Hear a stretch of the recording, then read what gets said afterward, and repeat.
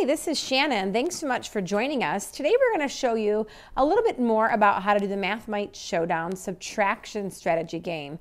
In this example, I'm going to show you a two-digit by two-digit subtraction, mostly with regrouping. We're going to use all four characters for our subtraction Math Mights, like Springling, Minni and Subbi. We'll use DC as well as talk about how to use T-POPs. This is much more of an instructional video to show how to use the different strategies, but the Math Mights Showdown game portion could be used inside of a Math with Someone group. We're going to start off with rolling the die, and we're going to have one person be blue and one person be red. When we decide which problem we want to, after we roll the die and we get the character selected, the child can decide which problem they want to use that might lend themselves to the strategy. So I'm going to go ahead and roll and pretend that Springling came up. I'm going to be blue and decide which one of these problems might lend itself to Springling's strategy. Because I have Springling with the pencil toppers, I'm going to pull out my Springling pencil that I'll use to kind of solve the problem. I'm going to start off looking as where I could go kind of with Springling with 42 minus 17. I'm going to use a marker today so you can see it a little bit better. I'm going to go ahead and write my strategy. Uh, my problem first, 42 minus 17. Springling uses a strategy called counting up or counting back. She was born with very flat, uh, fancy eyelashes and very fluffy fur. She was born with a coily tail because she likes to hop and keep track of how far she's hopping. So she really loves it when students make a number line or what we call an open number line to look at the distance between the two numbers. In younger grades, subtraction is looked at as takeaway, but as students get older, it's really just the distance between two numbers. This will help them as they move on to decimals or other higher concepts in fractions or even eventually in middle school with integers. Springling hates it when students count 11111 because it flattens her fur.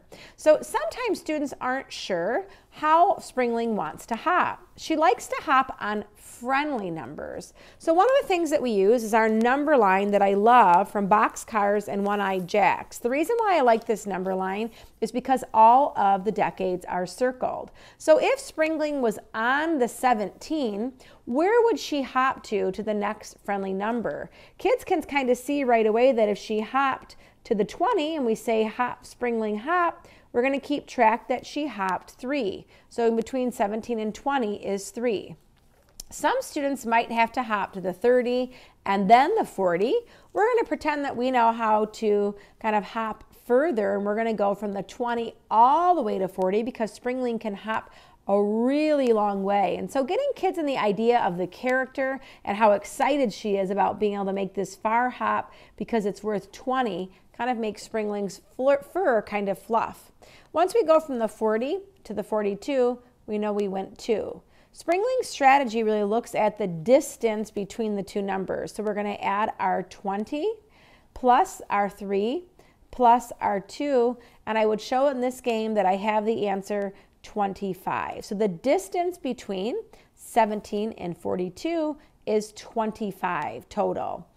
I'm going to keep my counter on here. I could certainly check with my partner and see if they agree if I am correct. If you want to, you can challenge an answer. If a student thinks that the answer is incorrect, they could challenge and try to solve it a different way.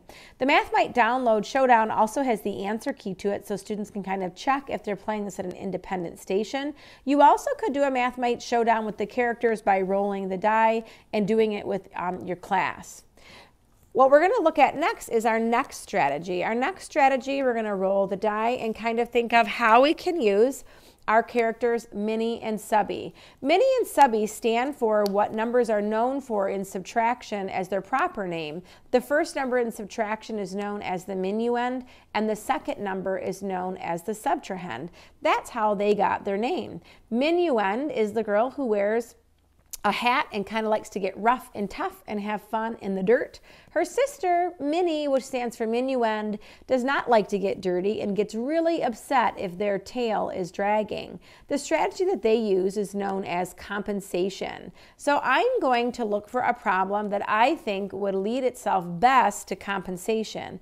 A lot of students when they're doing compensation like to learn this first when going across zeros because they can prevent regroups.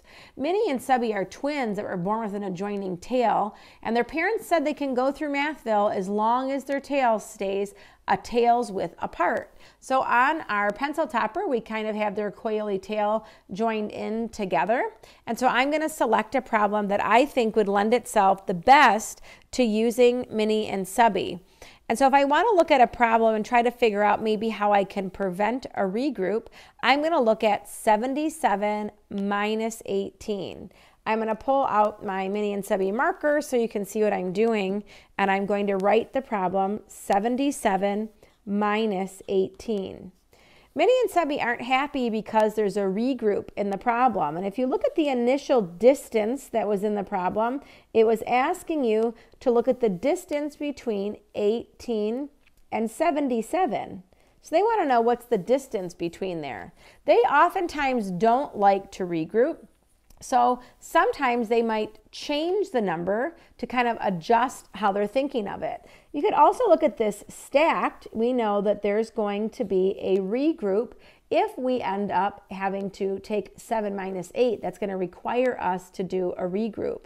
So she might decide to move up the number line and be able to go maybe up to the to 79. So what I want to show you is kind of the idea of using a string with kids, that kids are trying to prevent a regroup, that the distance here between the two numbers is really what's in between my fingers.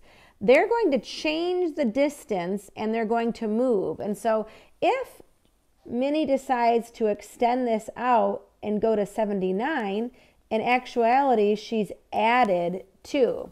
Because their tail is joined, we have to be able to move the subtrahend as well. So if I were to move the forward, even if I wanted to go to 78, I could do that. We're trying to prevent the regroup.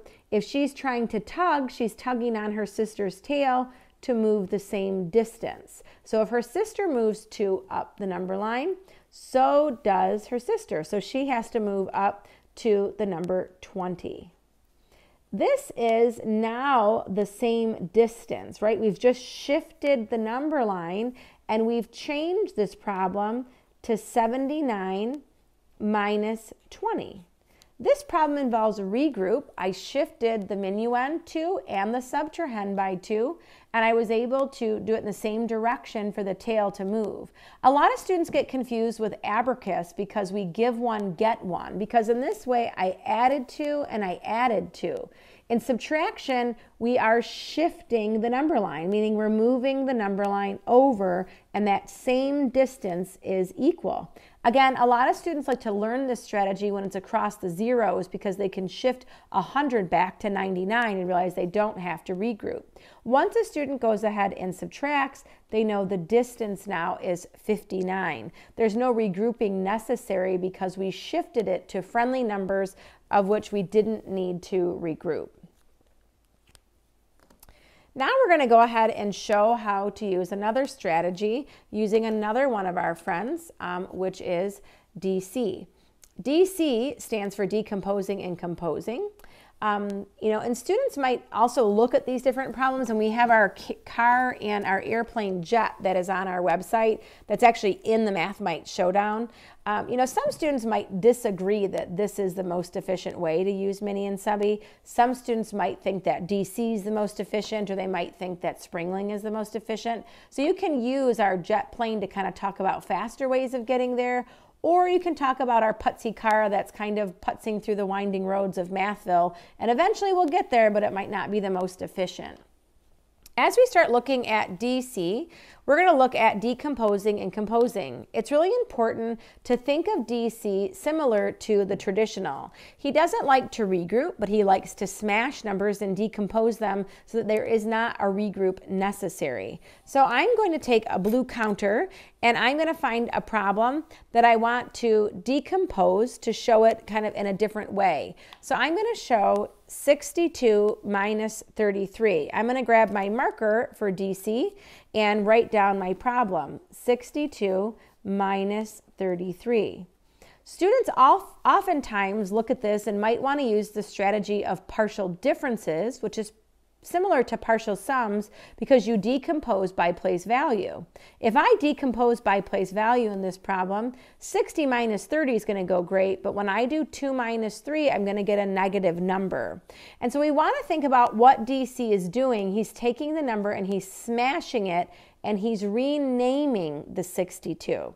So as we look at an abacus, which is cleared to the right with kind of white right, we have kind of an abacus here. We can think about renaming the number 62. So I have 10, 20, 30, 40, 50, and then a 60.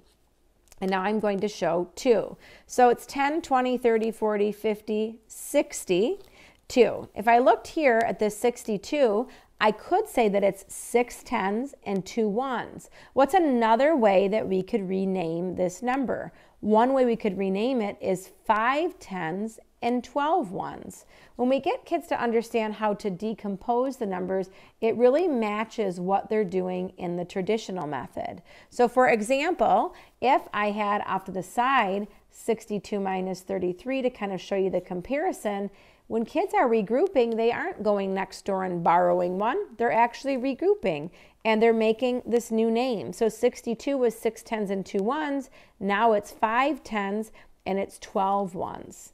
This is a very nice connection for kids using number sense to show how they're solving the problem. So if I have 50 minus 30, I know that that is 20. If I have 12 minus 3, I know that that is 9. So the total that I'm left over with is 29. So a lot of what you have to do with kids, especially in second grade, is them to see whether or not they have to regroup or not regroup. If you don't have to regroup with subtraction, DC works out great because you can just decompose it by place value and solve it with partial differences.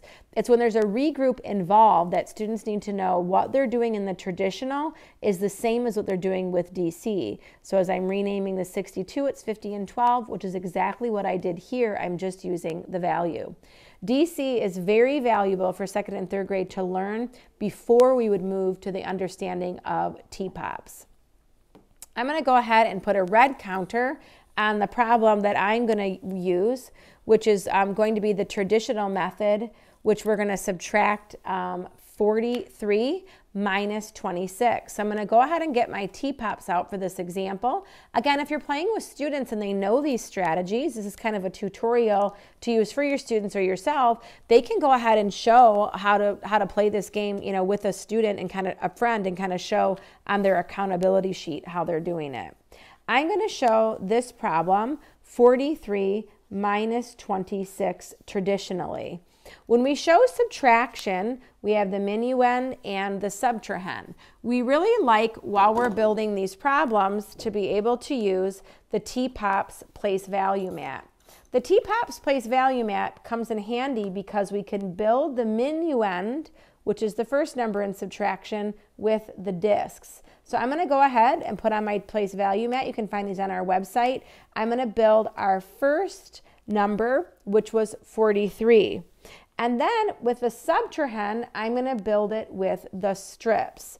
The reason why I'm building this with the strips is so that students can see what is actually being taken away and what's actually happening in the regrouping process. So in this case, I'm going to decompose the numbers by 20 and 6.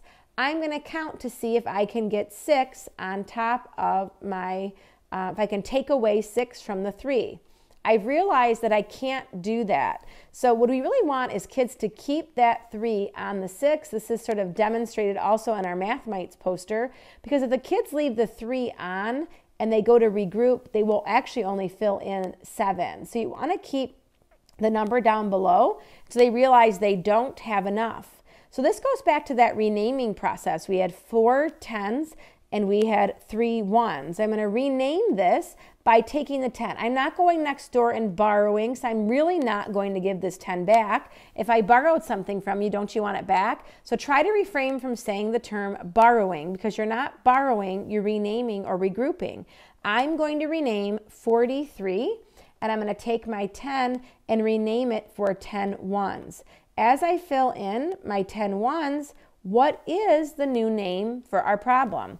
We are not looking at 43 minus 26. We're now looking at 30 and 12, which this also connects to what we were doing. So if I went here and kind of changed on the problem, we changed this whole value. The value of the number is the same, but we rechanged the name of it. We made it three tens and we made it 13 ones. So as kids start to subtract, they already had the three, they had to pull away six. So it's three, four, five, six. So now they're left over with seven. The 13 ones minus the six ones gives me seven ones. A lot of times kids say three minus two. The more we don't make kids attend to place value, the less they'll do it and the less they'll make sense of it. So it's not 3 minus 2, it's 30 minus 20. So I'm going to take the 20 and I'm going to take the 20 off. So I have to take 20 away from 30, 10, 20. When I take away the 20, I'm left with 110. So again, here you see 30 minus the 20 gives me just the 110 and they're left over with it.